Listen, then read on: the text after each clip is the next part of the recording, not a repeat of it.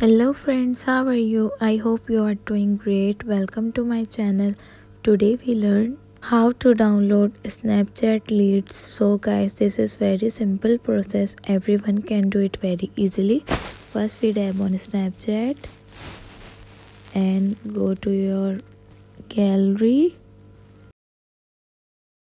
and select one picture in your gallery and tap on attachment and create the URL and you will attach in the picture snapchat leads and send your friends and another pupils like this